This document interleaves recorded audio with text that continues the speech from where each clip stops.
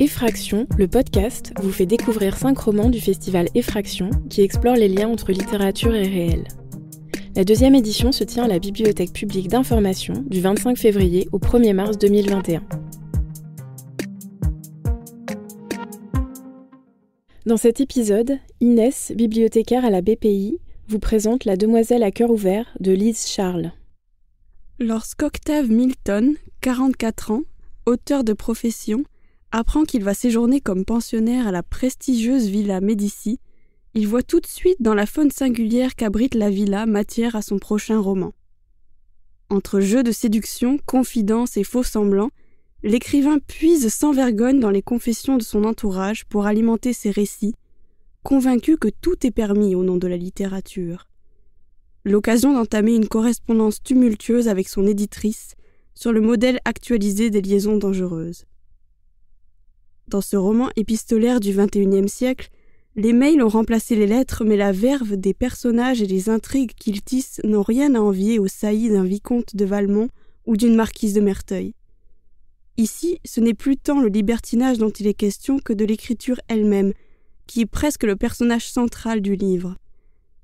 Inspiré du propre séjour de l'autrice à la Villa Médicis, la demoiselle à cœur ouvert se présente comme une plongée dans le monde secret et impitoyable de la création littéraire contemporaine. Mêlant correspondance imaginaire et véritable mail, article universitaire et journal d'une adolescente, Lise Charles souligne la voracité de la création lorsqu'elle se nourrit du réel.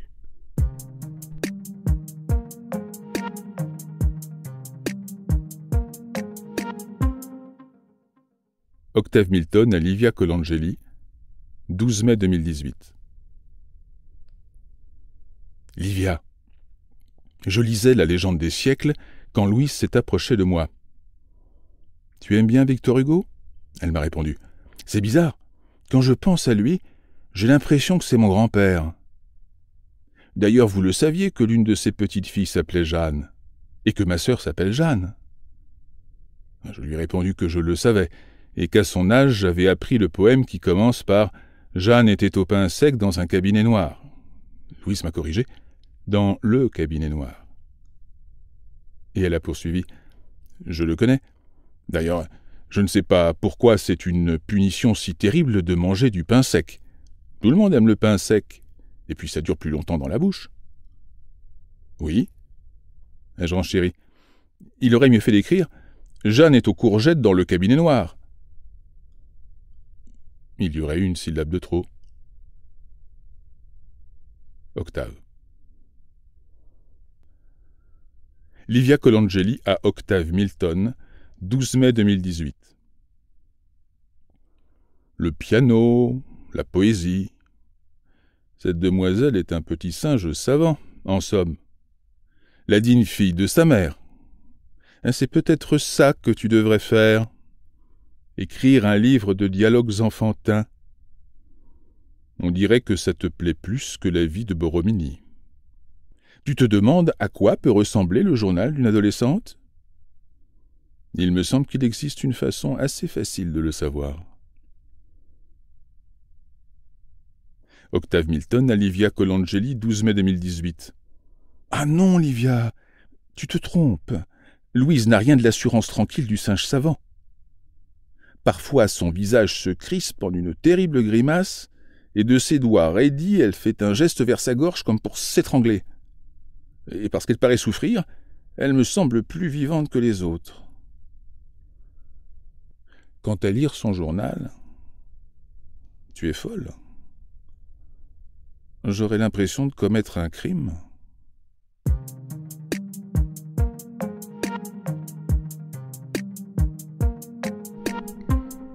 La Demoiselle à cœur ouvert est un objet littéraire hybride, à la fois roman épistolaire revisité, fragment de véritables mails, mise en scène de précédents récits et personnages de Lise Charles, et mise en abîme du processus même de l'écriture.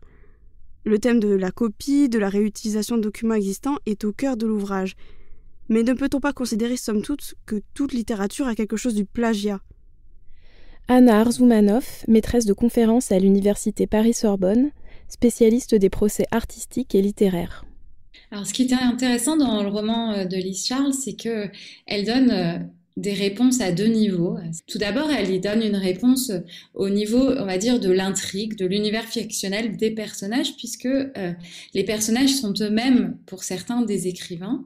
Et puis, par ailleurs, il y a d'autres artistes, hein, euh, d'autres œuvres d'art qui sont citées dans le roman. Donc, par exemple, les statues de la Villa Medici, euh, qui ne sont que des copies. Donc, il y a toute une réflexion sur le plagiat en art plastique, mais surtout, ce qui est central dans le roman, au niveau donc de la de l'intrigue elle-même, c'est euh, la question du journal volé à une jeune fille qui est repris par l'écrivain principal, hein, Octave Milton, et qui prend un tiers du livre. Ici, la question qui est abordée, c'est la question plus que de la copie d'un texte, la, question de la copie du réel et de euh, l'effraction euh, dans le réel. Donc, cette question du plagiat est posée ici en, fonction du préjudice euh, la solution que propose Livia Colangeli à tout cela, ce sont, on va dire que c'est du simple toilettage, faire de menus modifications euh, pour euh, pouvoir faire passer le fait de copier, de copier quelqu'un. Elle propose de changer des prénoms, de changer quelques petites choses, mais c'est tout. Ce qui est intéressant, c'est ensuite au niveau de la façon dont Lise Charles pratique elle-même la copie. Et là, on a l'impression d'une réponse qui est euh, très différente. En effet, au niveau de l'écriture du roman, euh, cette fois-ci, on voit bien que Lise Charles le souligne. elle ne cesse d'emprunter à ses prédécesseurs. Par exemple, aux liaisons dangereuses pour la forme hein, du roman épistolaire, la relation entre l'écrivain Octave Milton et Livia Convangeli, qui rappelle évidemment celle de Valmont et Merteuil. Mais également, elle, dit qu'elle emprunte à Mademoiselle Else de Arthur Schnitzler, qui est cité dans le roman, mais elle emprunte aussi à d'autres documents qui sont des documents réels. Un article qu'elle a écrit elle-même, donc elle s'auto-plagie, euh, des copies de vrais mails échangés avec son éditeur, des copies d'extraits de son propre journal quand elle était enfant. Bref, dans son pratique d'écriture, elle ne cesse de coudre euh, différents euh, documents qui existaient euh, auparavant, hein, on peut dire, en ce sens que c'est une véritable écriture palimpseste. Mais ce qui est intéressant, c'est qu'elle le théorise en fait. Octave, en effet, se définit comme un monteur hein, qui fait des coupés-collés de lecture. Et à cela, euh, Marianne Lenoir répond en fait euh, plusieurs choses, mais notamment une réponse que, j'ai trouvée, euh, qui à mon avis est une clé, qui porte sur la question de l'invention et de l'invention en rhétorique. Donc en effet, hein, elle explique à la page 351 en latin, invenire ne signifie pas inventer, mais trouver. L'inventio, c'est l'étape où l'orateur trouve, entend, choisit des arguments dans des lieux communs. Loci communes. L'orateur et l'écrivain sont des voyageurs. Ils passent par des lieux où tout le monde passe, mais les visitent pour leur propre compte. Et ensuite, elle cite Montaigne. Ce qui est intéressant ici, c'est qu'on reconnaît bien euh, la définition classique de l'écriture et de l'inspiration, à savoir qu'un auteur n'invente rien, les idées existent déjà toutes, et là où réside l'originalité de l'auteur, c'est que il ne fait que monter, que rapiécer. Euh, Montaigne le disait avant. Hein, donc, euh, ce qui est intéressant, c'est que cette conception euh, de la création correspond à la vision, la vision juridique de la notion de plagiat. il faut savoir qu'en droit, on ne parle pas de plagiat, mais on parle de contrefaçon. Hein. le plagiat est une notion littéraire, son équivalent en droit, c'est la notion de contrefaçon. Or, dans la notion de contrefaçon, il est question d'une œuvre de l'esprit. Hein. on peut faire la contrefaçon d'une œuvre de l'esprit. Or, l'œuvre de l'esprit n'est pas considérée, n'est pas définie par rapport au fait d'avoir des idées originales, puisque les idées, on dit qu'elles sont de libre parcours en droit, mais par rapport au fait de faire une création originale, c'est-à-dire de les mettre en forme de manière originale et de manière tellement originale qu'on y reconnaît euh, l'esprit de l'auteur. L'un des personnages du livre, découvrant que ces mots ont été repris sans son accord dans une publication d'Octave Milton, adresse les mots suivants à l'auteur. Ma sœur m'avait prévenu que les auteurs étaient, dans leur grande majorité, des vampires. J'ai refusé de l'entendre, et j'aurais pourtant dû deviner à la lecture de vos romans que vous tiriez le sang des autres pour en gonfler vos créatures. Pensez-vous que c'est à ce prix que l'écriture peut s'approcher au mieux du réel? Alors évidemment, cette image de l'écrivain vampire, elle est très forte, hein, puisqu'elle signifie que l'auteur suce le forme ses proches au point de pouvoir les tuer. Euh, c'est euh, donc, euh, je, n'entrerai pas dans le, dans le détail de l'intrigue, hein, mais il est évident que au niveau de l'intrigue, il y a quelque chose de cet ordre, c'est-à-dire que l'écrivain Octave Milton cause des préjudices très forts au personnage dont il reprend la vie, au point de, je laisse le, lecteur découvrir la fin du roman. Donc, au niveau des personnages, ce qui est intéressant, donc, c'est que ici, euh, la citation euh, que vous donniez est issue euh, d'un passage où un personnage très secondaire, Prune Mordillac, fait le reproche à Octave Milton de l'avoir utilisé dans une chronique qu'il rend aux Inrocks. Hein. Donc, il l'utilise au point de recopier, en fait, un mail qu'elle lui avait écrit. Euh, la question euh, du préjudice est immédiatement posée par, euh, Prune Mordillac qui dit Vous nous avez fait du tort, monsieur Maton. Donc, la question du réel, hein, du, fait d'emprunter au réel, est, posée en fonction du préjudice qui est posé, qui est causé aux, différentes personnes qui sont, se retrouvent enfermées dans les romans. Euh, mais surtout, euh, lorsque euh, Octave Milton reprend le journal de la jeune Louise, les conséquences sont tellement tragiques que le préjudice est encore plus fort.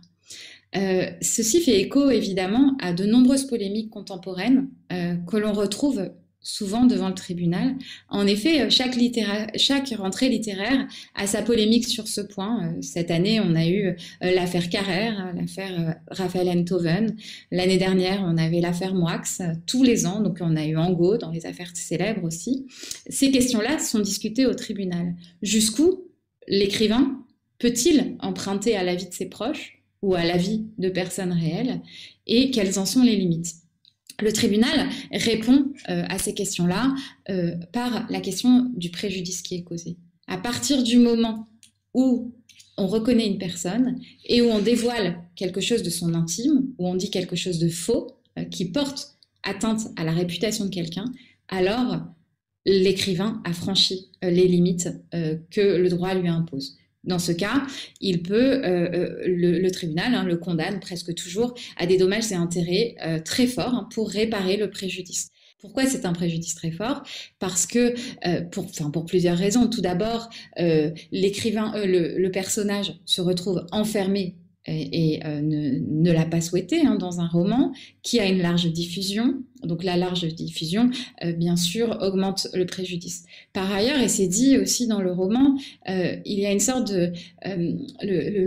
La personne qui se retrouve dans un roman est en quelque sorte prisonnière, puisque faire la publicité du fait qu'il s'agit d'elle-même, c'est une façon de causer encore plus son propre préjudice. Donc on voit euh, euh, souvent des, des personnes qui sont au pied du mur, qui hésitent, qui ne savent pas trop quoi faire, mais il est sûr que la littérature peut causer des torts.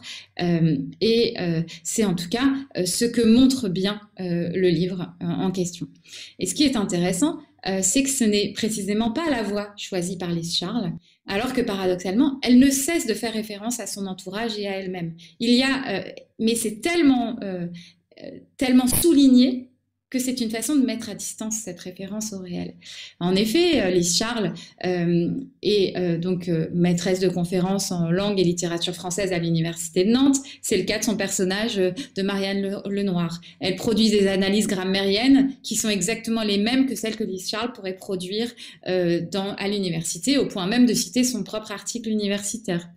Octave Milton est écrivain, il a passé un an à la Villa Médicis, exactement la même année que celle où euh, Charles y était, etc. On pourrait euh, s'amuser à relever tous les clins d'œil à sa propre vie, hein, par exemple sa propre année de naissance, euh, qui, 1787, qui est l'année de naissance de l'héroïne du journal euh, que Octave Milton publie, enfin toute une série de références. elle reprend même le nom de certains de ses amis, comme le dessinateur François Maton, qui devient son frère dans le roman. Bref, toute une série de références, mais qui sont euh, très visibles hein, euh, pour, euh, pour le lecteur. Et de plus, hein, dans, dans, le roman, elle ne cesse de poser la question de la reprise de, de, de, son entourage, comment ne pas le trahir. Et elle y répond en fait dans une interview hein, que j'ai vue d'elle, elle dit J'ai repris plein d'éléments de ma propre vie.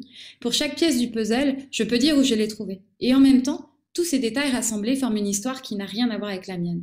Et je crois que là, c'est, on a une clé qui ressemble finalement à la réponse que j'ai donnée sur celle du plagiat, à savoir que certes, il y a, on reconnaît ce réel et en même temps, on ne peut pas dire que son roman soit une copie du réel.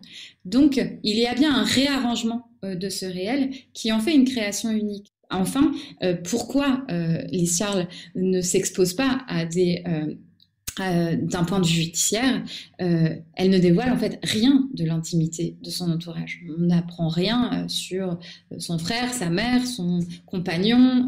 donc on, voit bien qu'elle ne se situe pas du tout à ce niveau-là. Donc en ce sens, ce qui est intéressant, c'est qu'il me semble qu'elle donne une, une sorte, ce roman est une réflexion euh, sur euh, la façon dont la littérature peut emprunter au réel. C'est une vieille question hein, qui est aussi ancienne euh, que la question de la littérature, c'est-à-dire que dès Aristote, on évoquait la question de la mimésis, hein, qui est la représentation ou l'imitation du réel. Et puis chaque époque, en fait, lui a donné des réponses variées, chaque mouvement littéraire. Donc par exemple, le nouveau roman a dit non, euh, il est hors de question de copier le réel.